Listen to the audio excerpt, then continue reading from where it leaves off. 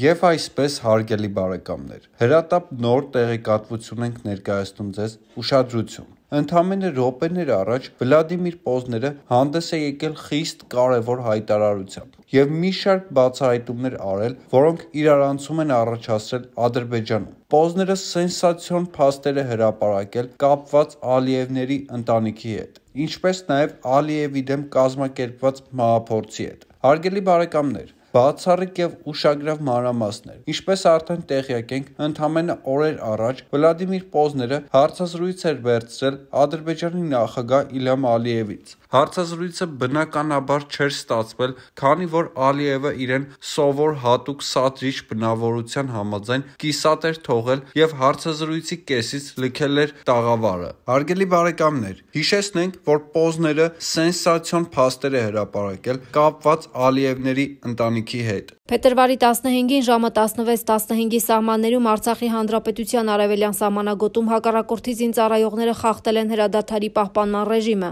ինչի հետևանքով հրազենային գնդակից վիրավորում է ստացել ՊԲ ժամկետային զինծառայող Խաչատուր Գագիկի Խաչատրյանը։ Այս մասին տեղեկացրել է Արցախի Հանրապետության Պաշտպանության նախարարության մամուլի ծառայությունը։ Վիրավոր զինծառայողի վիճակը գնահատվում է կայուն ծանր։ Միջադեպի առնչությամբ անմիջապես համապատասխան տեղեկատվություն է տրամադրվել ռուսական խաղաղապահ զորակազմի հրամանատարությանը։ Սարգսյանը։ Ներկա պահին օպերատիվ մարտավարական իրադրությունը շփման գոտու տվյալ հատվածում կայուն է։ Փետրվարի 16-ին Արցախի խորհրդարանը կքննարկի խորհրդարանի բոլոր 5 խմբակցությունների կողմից մշակված Արցախի Հանրապետության գրավյալ տարածքների մասին օրենքի նախագիծը։ Օրենքի նախագծով սահմանվում է 1991-ից 94, 2016 եւ 2020 թվականներին Արցախի Հանրապետության դեմ Ադրբեջանի ռազմական ագրեսիայի արդյունքում գրավված տարածքների իրավական կարգավիճակը։ Օրինագիծը Բաքվում ընկալվել է որպես ռևանշիստական։ Գրավյալ տարածքներն իսկապես կարգավիճակ պետք է ստանան, բայց այս գործընթացը պետք է տեղի ունենա միաժամանակ Ստեփանակերտում եւ Երևանում։ Այն པարզ պատճառով, որ հրադադարի փաստաթուղթը, որտեղ նշված են հանձնված տարածքները, ստորագրել է Հայաստանի վարչապետը։ Երևանն ու Ստեփանակերտը պետք է նշեն, թե ում մեղքով է եղել օկուպացիանով է կիրառել ուժ, հարկադրանք, ով չի երաշխավորել անվտանգությունը, ինչու դեռ չի սկսվել Արցախի ճանաչման գործընթացը։ Հիշեցնենք, որ իշխող կուսակցության նախաձեռնությունը նախաձեռնությամբ Հայաստանի խորհրդարանում ստեղծվել է 2020 թվականին 44-օրյա պատերազմի հանգամանքները քննող հանձնաժողով Անդրեաս Ղուկասյանի խոսքով հանձնաժողովը պետք է պատասխանի այն հարցին, թե ինչու Հայաստանը չդիմեց Վիեննայի մեխանիզմին, այլ ինչ գործիքներ է օգտագործել Հայաստանի վարչապետը պատերազմից խուսափելու համար։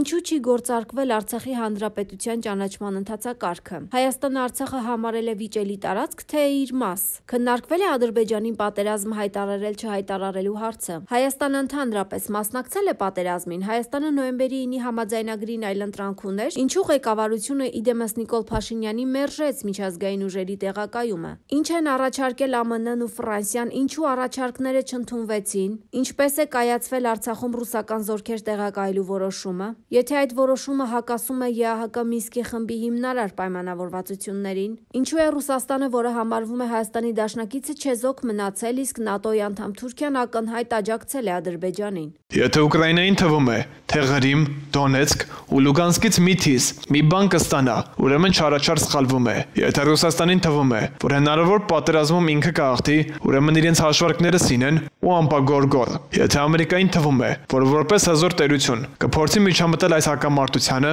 եւ պաշտպանելով կողմերից մեկին կբարձրացնի իր հեղինակությունը եւ ունեցած ազդեցությունը աշխարհում, ուրեմն երիցը սխալ է։ Եթե արևմուտքը, հանձինս Եվրոպայի, չի փորձում սաստել բոլոր կողմերին։ Դրանով կատարում է ճակատագրական սխալ։ Իսկ ով է շահելու։ Շահելու է նա, ով վարում է աղվեսային քաղաքականություն, ով այս պայն շատ լավ հարաբերությունների մեջ է գրեթե բոլորի հետ, սակայն բոլորի հետ էլ ունի ակնհայտ տարաձայնություններ եւ սպասում է հարմար պահի ռևանշի հասնելու։ Այդ երկիրը Թուրքիան է, եւ առաջին հերթին պատրաստ պետք է լինենք մենք։ Չպետք է վախենալ, չպետք է ընկնել աժոտաժի մեջ։ Պետք է ընդամենը սառը դատողություն։ Արջն այնքան սարսափելի չէ, որքան իր անունը։ Աստված մի արասցե, պատերազմ լինի։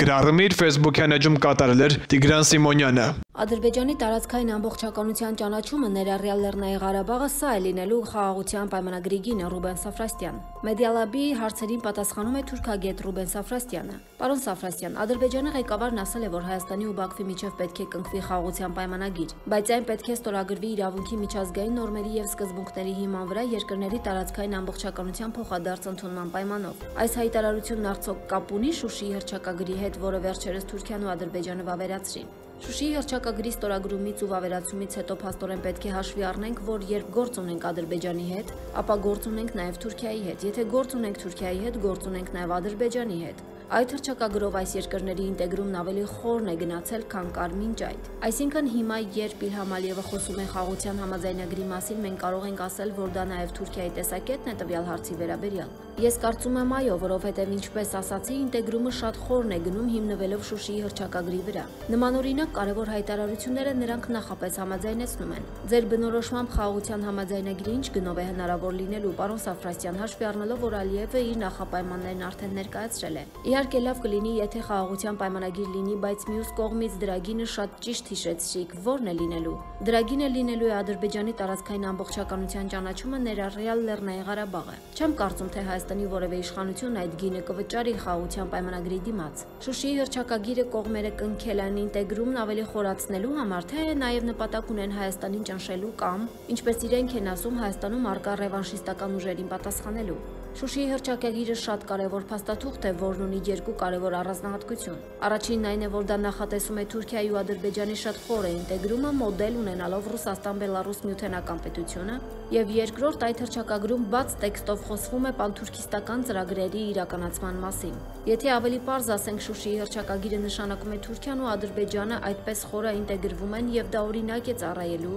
նրանք հուսով են մյուս թուրքալեզու պետությունների համար, որոնք կգան ու կմիանան դրան։ Սա պանթյուր թուրքիստական ուղղվածության ակնհայտ փաստաթուղթ է, որը չեն էլ թաքցնում։ Ակնհայտ է, որ մեզ համար դա շատ ավելի լուրջ վտանգներ է ստեղծում, քան կար մինչ այդ հրճակագրի կնքումը։ Սա նշանակում է, որ մենք գործ ենք ունենալու երկուսի հետ միաժամանակ, ըստ այդ հրճակագրի Թուրքիան ու Ադրբեջանը իրենց կարևոր քայլերը նախապես միասին են որոշելու։ Պարոն Սաֆրաստյանի, իսկ այդ հրճակագրից հետո հայ-թուրքական հարաբերությունների կարգավորման գործընթացն ինչպես կլինի։ Ես ընդհանրապես այդ բանակցային գործընթացից առանձնապես մեծ սպասումներ չունեմ։ Պարզ է, որ Շուշիի հրճակագիրն ավելի կբարթացնի բանակ բանակցությունների ընթացքը նրանք էլ դա չեն թաքցնում։ Թուրքիայի ղեկավարներն ամենաբարձր մակարդակով օրինակ Չավուշօղլուն հայտարարում են, որ մինչև բանակցային գործընթացը ձեռնարկելը քննարկել են Ադրբեջանի հետ։ Այսինքն առաջ, եթե տեղյակ էին պահում Ադրբեջանին, հիմա նախապես ամեն ինչ իրար հետ պայմանավորում են միասին քննարկում նոր ձեռնարկում։ Ձեր տպավորությամբ Թուրքիան ու Ադրբեջանը երբևէ կհրաժարվեն Հայաստանի հետ խաղաղության պայմանագրի կնքման իրենց պայմաններից։ Տասնյակ տարիներ զբաղվելով թուրքերի ուսումնասիրությամբ, թուրքերի ու հավանական է նաև Ադրբեջանի մտածելակերպում հետևյալն է, որ իրենք պատերազմը հաղթել են ու պետք է հնարավորինս շատ բան ստանալ այդ հաղթանակից։ Հետևաբար իրենք չեն համաձայնի գնալ կոմպրոմիսի Հայաստանի հետ ու կփորձեն ստիպել Հայաստանին, որպեսզի հնարավորինս շատ բան ստանան։ Հույս ունենք, որ մեր քաղաքականությունը կկարողանա կանխել այդ փորձերը ամեն ինչ լավ է լինելու, Աստված պահապան հայ ժողովրդին։